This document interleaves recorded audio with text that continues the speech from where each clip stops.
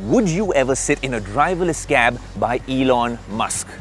Here's what he's planning with robo-taxis, what everyone in the tech world is calling Tesla's iPhone moment. One of the biggest in a decade. Let me break it down for you. As the butterfly doors of the Cybercab opened, Elon Musk kicked it all off by waving to the crowd and sitting in Tesla's new robo-taxi, a fully autonomous self-driving cab that does not even have a steering wheel or pedals, emphasizing Tesla's trust on its technology. Tesla showed off the Cybercab demos on internal, non-public roads in Hollywood, and Elon Musk focused on how people sitting in the robo-taxis can even sleep and don't have to stay vigilant while the car is moving. A stark difference really from Tesla's current self-driving capabilities, which require drivers to stay alert at all times. Musk pitched the idea of autonomous cars as primarily a time saver as well as a money saver. Elon says these cyber taxis will reduce the cost of transportation from an average $1 per mile for a city bus to as low as 20 cents or 40 cents a mile using the cyber taxi. Now obviously this is more of a prototype, but it's interesting to see the design philosophy that Tesla adopts. Elon Musk seems to have very polarizing designs, be it what he did with the Tesla cars, or also what he's done with the Cybertruck. Some people love it, some people just cannot stand it.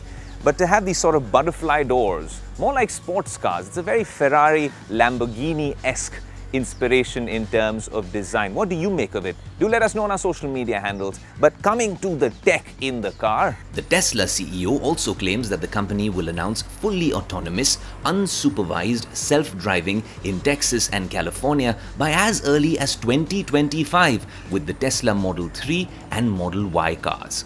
Tesla's self-driving feature has been involved in controversies leading to a number of fatalities, but Musk is optimistic about the Cybercab and said that it will save a lot of lives and also prevent injuries.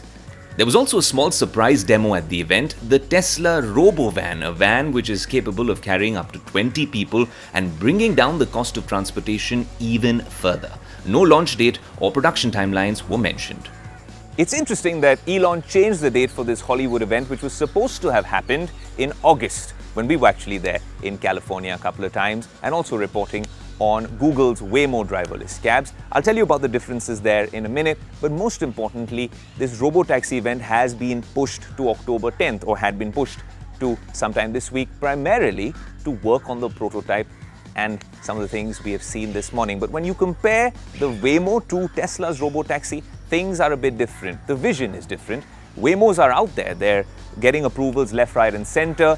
For now, they're Jaguar I-Paces. There's news that the Hyundai Ioniq 5 will also be inducted into the fleet and a couple of other car makers are really going for it as well. Cruise are no longer seen on roads because of some of the issues that they face, but Waymos largely are a force to reckon with in San Francisco. You're seeing them in other cities across the United States. We had a fascinating experience in that Jaguar I-Pace with LiDAR sensors around. You see those clunky sensors all around it, but the job is done with maximum efficiency. Some of the San Francisco neighborhood residents aren't very happy with Waymos. People often scratch them on their way out.